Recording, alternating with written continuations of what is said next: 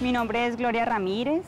soy socióloga graduada de la Universidad del Valle. Eh, ¿Qué veo de televisión? Bueno, principalmente veo noticieros mm, al mediodía, generalmente en la noche cuando tengo más tiempo y además es un espacio como para compartir con la familia. Así que vemos el noticiero juntos y después vemos otros programas que son del gusto de cada uno.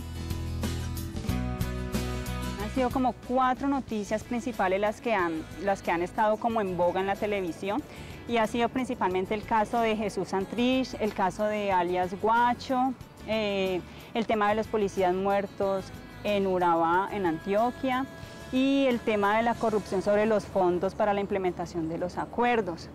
Y a mi parecer, estas cuatro noticias que tocan delicadamente el tema de los acuerdos de paz han recibido diferentes tratamientos, diferentes enfoques, de acuerdo a los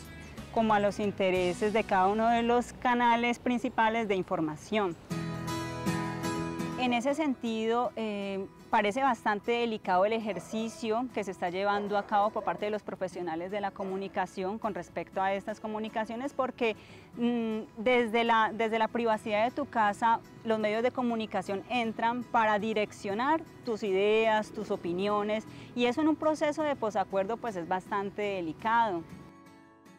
Pero yo sí creo que los medios fueron muy responsables en el cubrimiento de todo lo que hubo alrededor de las negociaciones, de las discusiones de la agenda temática. ¿Cómo debería ser tratada las noticias, los contenidos con respecto a estas temáticas? Bueno, para iniciar, no deberían tomar partido sobre uno u otro actor, no deberían lanzar juicios sobre las situaciones, más bien deberían brindar herramientas para que el ciudadano, el televidente, eh, pueda tomarlas y generar juicios por sí mismo, generar reflexiones, eh, ampliar los ejes de los debates. No tenían herramientas de cómo cubrir la guerra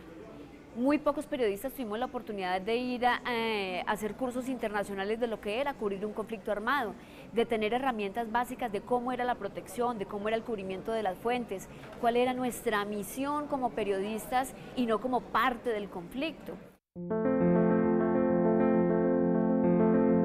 Nosotros como sociedad debemos reconstruir esas historias que están fraccionadas, reconstruirlas en un solo relato que nos permita comprender la complejidad de la violencia en Colombia, ponerle también rostros y conocer esas vidas que fueron afectadas en este largo conflicto armado en Colombia.